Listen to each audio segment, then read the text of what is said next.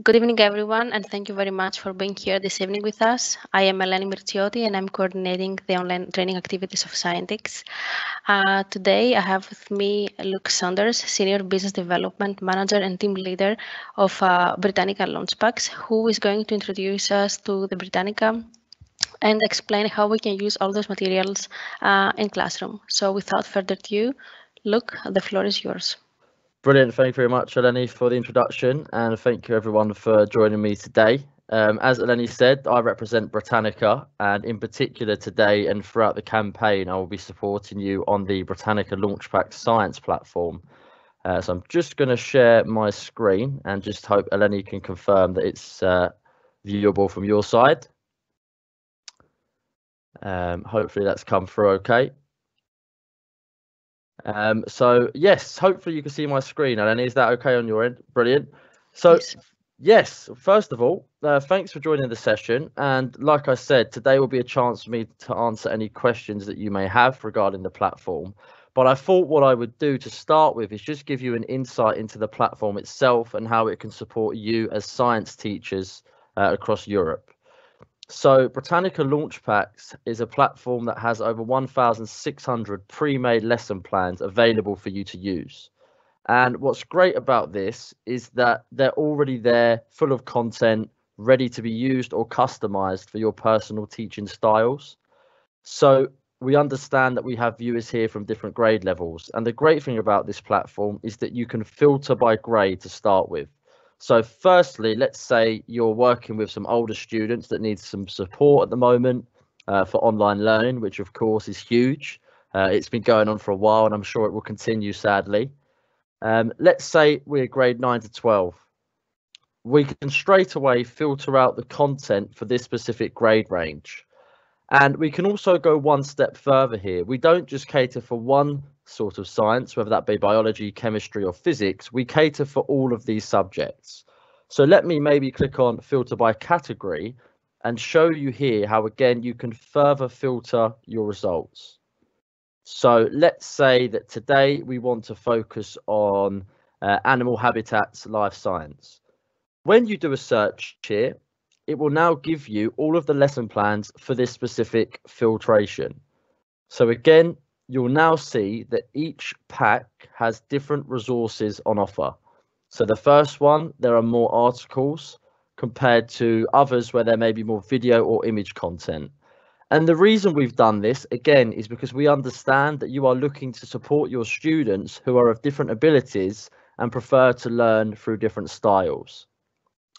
The great thing about these packs is that every single pack will look very similar. So let's say that today, for this example, we're looking at the, the savannas.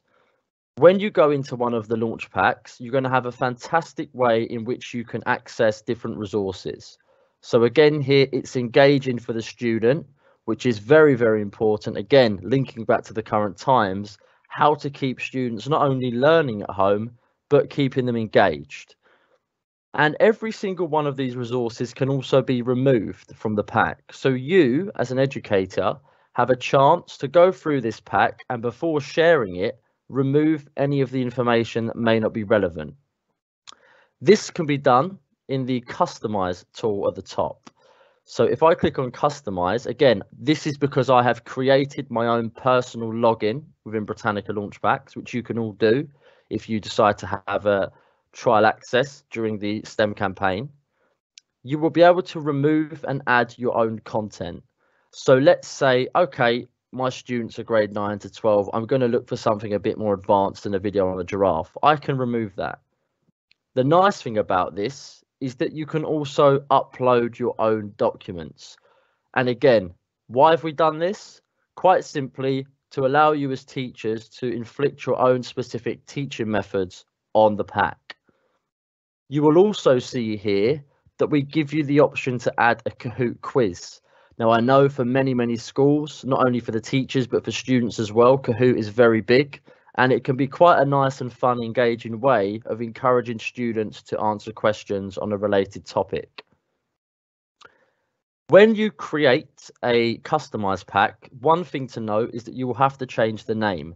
This is so that if you ever did want to go back to the original pack, it will still be there. So let me just change this to customized. And again, show you how once again you can go further and now set activities for the student. So before I do set an activity, I just want to again scroll down to show you the range of resources. And most importantly, focus on the article content. So let's say I am looking at this article here. Every article across every single one of our 1,600 plus lesson plans in launch packs comes equipped with these features. The first one is the option to change the reading level. So again, I talked about at the start this being for grade 9 to 12, but I know full well that your students of the same age are not all the same ability. There's absolutely no problem at all with that, and we've encouraged that student to differentiate the content to cater for their individual need. So if I click grade 6 to 8, it will quite simply just reduce that article's reading level to a lower standard. Again, let's say now the student is reading through this article that you have given them access to and they see a word that they're not familiar with or not quite sure what the definition would be. With online learning, a teacher cannot always be there for every single student. We know you're not superhumans. so what we've done is we've given you a one-click dictionary where quite simply, if you ever see any word that may not be familiar to a student, you just double click on that and get a definition from Merriam-Webster. So again, differentiation is something that we're really big on in this platform to support your students and you as teachers uh, when trying to help them during the next three months. If I go back now to the pack, I just want to focus now on the assessment side. I know with science, it's all about assessment and hoping that students have understood certain theory, content and ideas. So not only do we ask you in launch packs to ask questions to your students, we've actually done it for you. We've saved you the time. So let's say I want to set an activity now on this pack that I've customized. I can now select from a range of learning strategies that have been adopted based on global teaching communities. So for example, maybe I want to add a full set or scroll down further and add specific questions that I want to find out from the students in terms of their understanding and how well received the information is. Again, when you're in your launch pack during your trial access, you will be pleased to see that you have access to this customized zone where now you can add those questions as you go through the pack. So again, I mentioned a moment ago, it's about understanding perspectives. We've acknowledged this and given you a chance to add some pre-existing questions related to this subset of questioning. Again, not only can you select from your grade 6 to 12, you can actually filter between lower grades to again personalize the questions and assessment of the students. So let's say, for example, I want to add question three, question six, and question seven. Now, that's great. I've got three questions there that I would ask myself as a teacher, but we also, again, acknowledge that you have your own questions that you want to embed. And this can be done quite simply by selecting add a custom question. So maybe you want them to give a case study of a habitat or whatever it may be. Again, I know at this point I'm just talking specifically about this specific pack on habitats, but bear in mind that we cover the different science topics as well.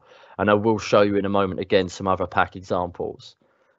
If you're happy with the questions you've made, all you would have to do in your teacher preview is click save and review and you are now ready to assign that set of questions for this topic to a class. Very simply, you can assign it or you can schedule it into your calendar. So again, Launchpacks doesn't just have to be there for assessment. It can save you as science educators time because you can quite simply drag one of these pre-made lesson packs into your calendar and have it there ready to share. So it can be beneficial in many different ways. But if, for example, I did want to now assign this, because again, I'm working remotely and my students are on Zoom and I need to help them, if you click assign, you'll have the option to select a class. So you're going to see in a minute, I've already made so many different classes on here. So ignore this. I'm sure you won't, well, you probably will have more. Um, but in this instance, I'm just going to select the AC Schools class. So in a moment, I'll show you how to set up different classes. But once they're set up, this is how you assign the pack. Again, time frame is very important, especially at the moment where we're all trying our best as educators to support students whilst they're at home in time for exams. So we can now set them a due date for this work. We want to make sure that this turnaround is very quick so that we can move on to the next topic. So maybe I want to be quite harsh and say it's Tuesday today, by Friday I need this done. It can be done. And once you've selected your class and your due date, you can quite simply click assign and the notification will be sent out to all of those students within that class. The student will then receive that information as if to say you have four questions and you have completed zero at this stage.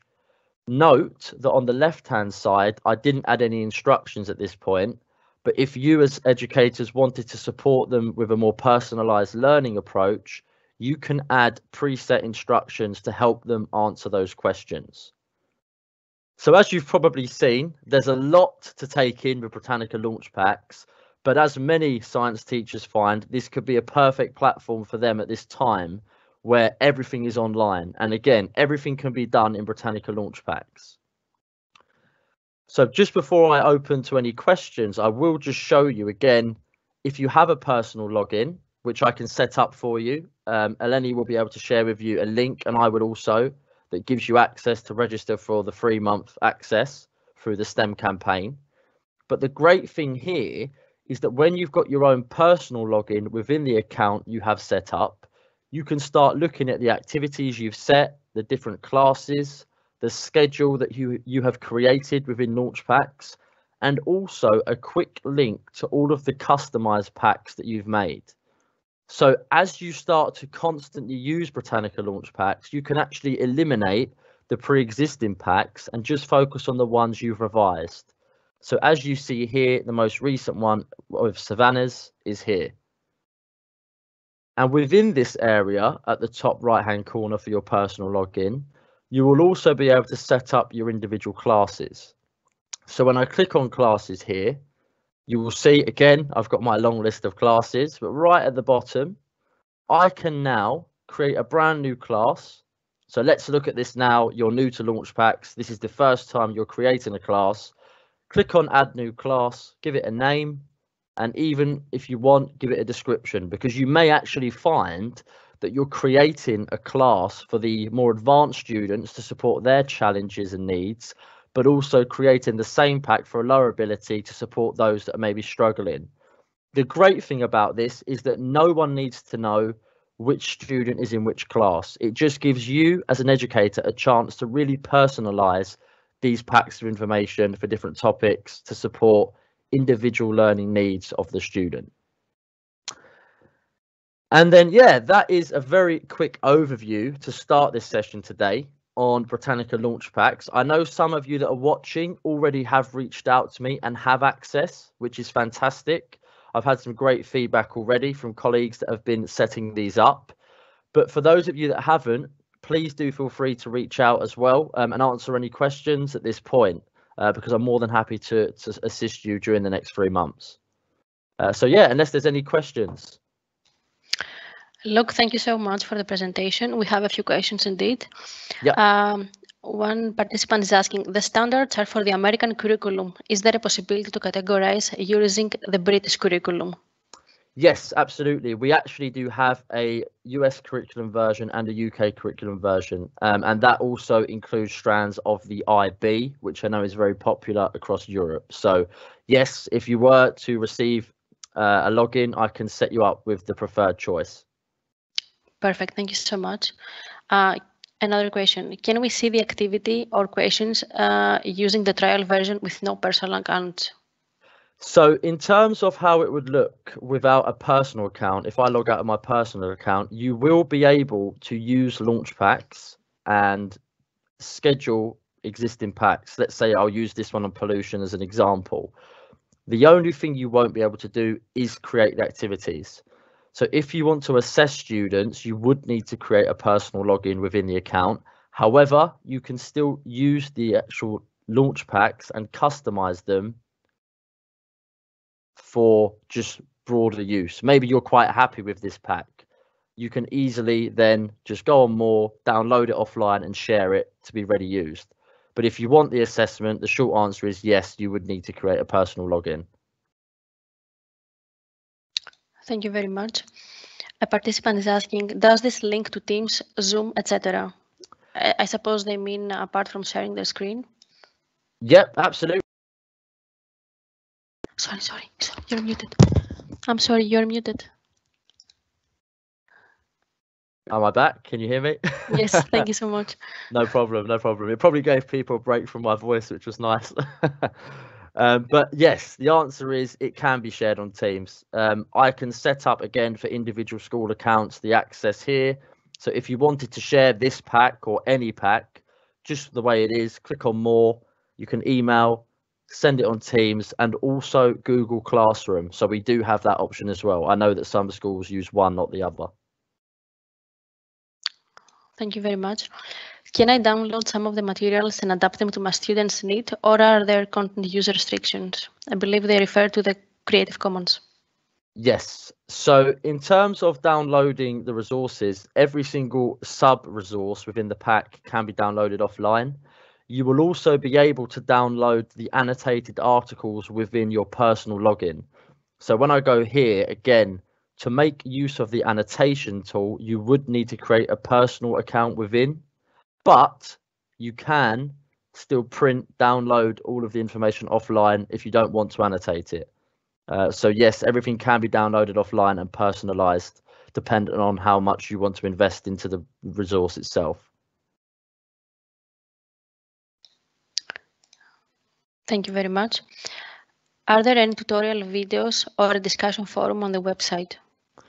Yes, I have got a tutorial video, which I know will be very useful because I myself still sometimes get lost in launch packs. It's very advanced, um, but I can share any tutorial videos and we can also set up a chat area where we can keep in contact during the STEM campaign. I'm more than happy to do that if it allows for more of the community to be engaged with any questions and answers, because I'm sure some of the members here today will have similar questions to those that join later sessions as well. Thank you very much. Can I share my materials or learning scenarios and have them published on Britannica? So in terms of that question, uh, what you can do is upload them into specific packs. Regarding publishing them as in for other people to use, that wouldn't be possible. Um, so we have preset packs of information, the 1,600 I mentioned, you can upload your documents within your personal login, but that won't be viewed by others. Uh, so again, I hope that clarifies that. Thank you very much. Um, so far, I haven't received any additional questions apart from the ones that you have already addressed. We have shared in the chat the registration form. Uh, should any participants want to reach out to you directly, uh, please let us know if you have any more questions for Luke. Brilliant. And yeah, thank you very much for those questions. Again, I'm sure as and when people start requesting an account, I'm more than happy to answer some questions because they seem to come when you start playing around with the resource. Um, and I'm I'm sure when uh, when you get into this and you start seeing the full capabilities, how useful it will be between now and May, um, there'll be many many questions that come up. Um, and while I just wait for a few more questions, I'll just again go through the different categories just uh, for those still here with us. Um, again, we've broken down the resources into the different subjects. I can filter by grade. So again, it could go all the way from grade one to grade 12. Um, and it, yeah, will cover all of your different strands of the curriculum for science. And for those physics teachers, you're not left out. I'll quickly give you a glimpse of what would happen if you were to look at some examples for physical science, motion and forces, uh, as you can see, we have many, many packs, even for some specific topics. So we should be able to cater for Um, saving you as teachers time, uh, putting together different resources from Google at the moment, which I know is a big challenge and very time consuming. Um, and also, I think that the way the packs are laid out are going to be great for your students, especially in the younger years. You know, we found that science is such a popular topic with um, especially smaller children. Um, and this is a really engaging way for them to, you know, learn from the resource and the different platforms available through article, image, and video. Uh, we have one more question. After the trial period, what is the cost? Yes. So regarding the cost, that will be different uh, for every single school. So unfortunately, I can't answer that at this stage. Um, but I can answer that on an email if you let me know the name of your school, the student population. Um, and again, Eleni, will everyone be receiving my email? Will that be available for them to contact me directly? Yes, we will make sure to share all your contact details on the STEM Discovery Campaign webpage. Brilliant. Yeah, feel free to email me after this session and I'll be able to answer the question about um, subscriptions after, um, if that's applicable again. There's no obligation. We want to support you at the moment. For the next three months, uh, we won't be bringing up anything about price. Um, it's purely just to support you as science educators. But if you do have questions about the price, happy to answer those directly with you. I have shared your email address in the chat, so it should be visible to everybody. Great. Um, and there will be a form as well on the SDC 21 campaign. If you scroll down to Britannica, uh, you can actually simply request an access uh, through the link. We've already had quite a, a good response on there. Uh, great to see a large number of schools in Turkey, Romania, Cyprus all on board. So feel free to fill in. I think there's four fields, the name of your school, your contact email, and I'll be able to get back to you the same day with a login um, for you to start using with your colleagues. We have already shared the link as well in the chat. Brilliant. I think, uh, yeah, sorry about that. I can't see that, so that's probably no why. um, please let us know if you have any questions for Luke about the resources, the packages, Britannica in general, anything. Yeah, and just while there's some more questions, uh, some of you probably are thinking Britannica, didn't they used to be the encyclopedias? You're right, we did. Um, people are quite upset actually that we've switched from the the books to online. Um, I like to make the joke we're 250 years old, but obviously that's not myself. I can't take credit for that. Um, but yes, um, essentially we've got editors that work on this resource daily. It's updated on average every 20 minutes, so you'll always see up-to-date content uh, for all of the different topics. So if you're worried about the content being out of date, uh, don't fear because we have a team of editors that work on this daily. Uh, so I thought I'd just reinforce that as well while we ask any more questions. We have another question. So this is a service to be purchased by the whole school and not a specific teacher or department. Great question. Uh, Britannica Launch Packs is specific to obviously science, uh, but I didn't mention at the start that it could also cover your humanities su subjects as well. Uh, so it can be purchased via department. Um, I know that in some schools, every department, well, I know in every school, uh, every department has a different budget. So it doesn't have to necessarily be brought for the entire school. It can be brought on a smaller number of students within a specific department. Uh, so again, if you have a query about that, feel free to email me and I can clear that up. Um, so yeah, feel free again if some of your colleagues aren't here today and you've got some friends in the social studies department, let them know that as well as the 1,600 packs for science, we've got exactly the same for science, social studies, history, geography, and information technology. And that's here in the top right corner. Excellent. Thank you very much.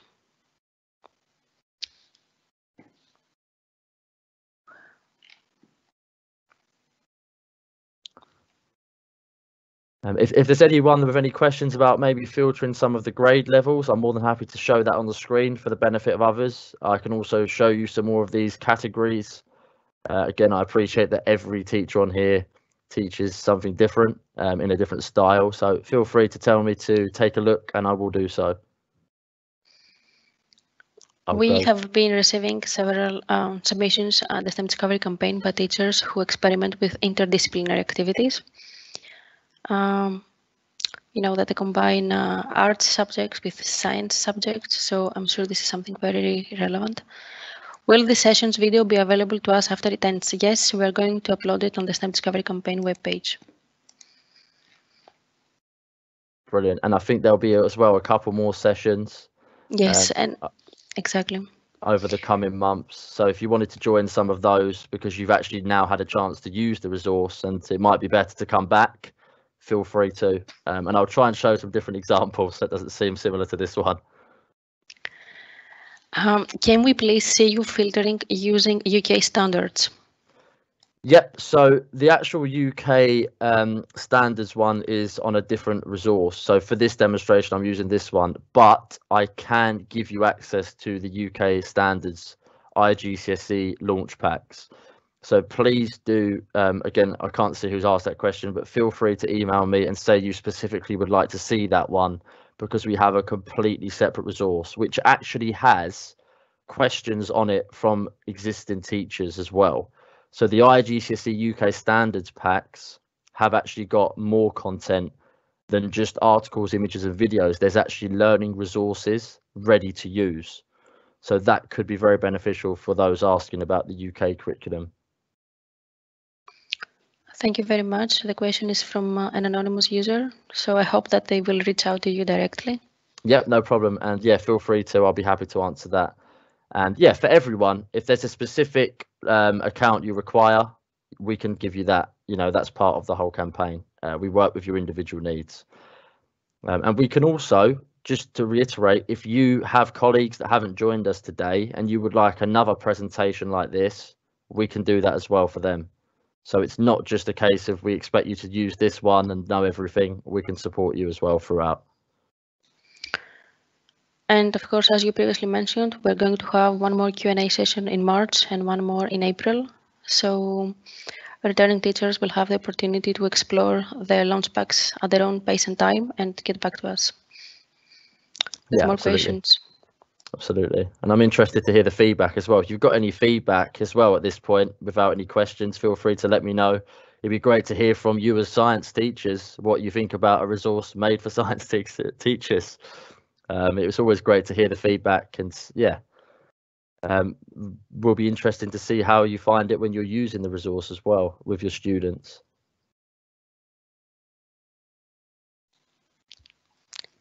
um, thank you very much luke. Please let us know if you have any more questions before we wrap up and close the session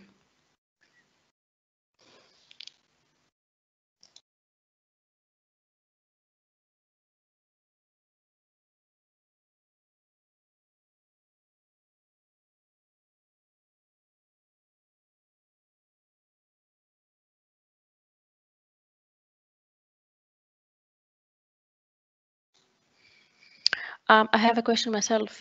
So yes. as far as I know, some of those uh, materials are translated in other languages as well, right? Yes. Um, so was that in terms of the language of the articles? Yes. So every article within a pack can be translated into 90 different languages.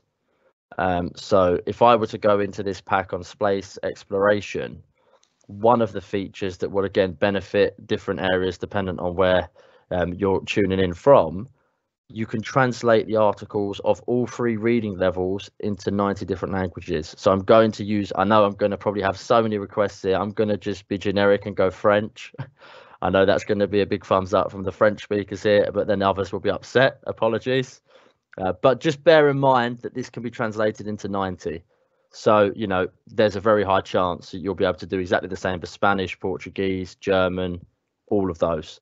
But the great thing about this is that it doesn't just translate the entire text. If you hover over any sentence, you will actually receive the English next to it. So again, if you're a bilingual school, if you're an English speaking school, or if you want to encourage students to learn English on the side, this is a fantastic way for them to do so. So every article of every grade level for every topic can be translated into one of 90 languages and you will always get the option of this original text next to it. Um, I hope one of the questions won't be for me to read this out in French because it would be very bad. we hope so too. Uh, sounds great. This gives a lot of potential to so many teachers to further use the materials. Yeah, absolutely. And again, I know not only for the international languages, every article can be read aloud in English as well. So again, we cater for all students. Of course. Including those that require some additional learning support, maybe they be dyslexic or slightly visually impaired. We have that covered. That's uh, that's amazing. Brilliant. Then uh, I don't see any more questions coming in. Thank you very much, Luke, for being here with us today and for this presentation. Many thanks to all our participants. Please don't hesitate to reach out directly to Luke and his team at Britannica by filling in the registration form and requesting an account. Yep. And uh, we will see each other again during our next Q&A session. Yeah, brilliant. Thank you very much, Lenny, and thank you everyone for joining. I'm looking forward to receiving your requests and questions on email. Absolutely. Thank you very much, everyone, and have a nice evening. Thank you. Bye.